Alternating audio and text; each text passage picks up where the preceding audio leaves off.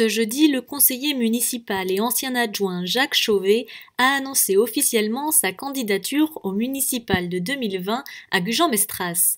C'est au port de la Barbotière, dans une cabane ostréicole, que l'annonce a été faite, aux côtés d'une partie de son équipe, Annélie Salde, directrice du Cap Emploi de Gironde, France Normand, chef d'entreprise, Olivier Clou, architecte, et Charlie Page, contrôleur de gestion retraité. J'ai euh, souhaité faire cette conférence de presse ce matin pour euh, annoncer euh, ma décision d'être candidat aux, aux prochaines élections municipales de Gujan-Mestras. Le fait de travailler, de rencontrer, de prendre du temps, d'observer, et de me dire que ce que je voyais de, de Gujan aujourd'hui, sur certains aspects, me plaisent bien, euh, sur d'autres ne me plaisent pas, et euh, l'envie de proposer un projet alternatif pour euh, les Gujanaises et, les Gujanais.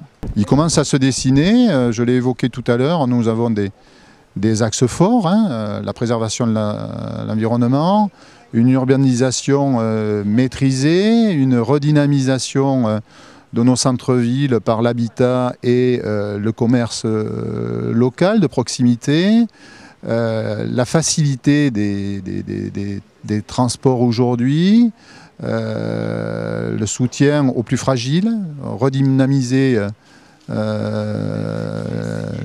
politique culturelle, et puis écoutez, ensuite d'autres axes viendront se rajouter à ces axes qui sont pour moi majeur, important, mais on aurait pu parler du, sport aussi, et puis à un moment donné, on passera des axes aux idées. Nous sommes une trentaine à travailler sur ce projet. Euh, nous avons euh, euh, créé un comité de soutien, et je suis très fier et honoré hein, d'avoir comme présidente de ce comité de soutien Marie-Rose Bézian.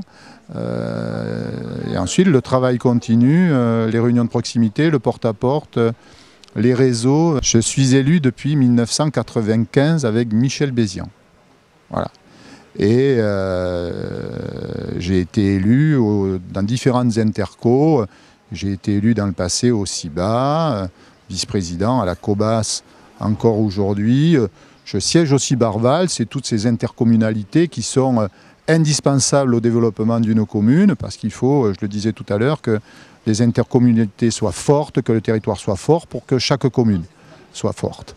Euh, je suis euh, aussi euh, conseiller départemental aujourd'hui, ce qui m'a permis d'une part de travailler au cœur des solidarités humaines et de mettre l'humain au cœur de mon mandat d'élu local. Je crois qu'il n'y a que c'est pour moi le, le plus important. on est là pour que les gens soient heureux.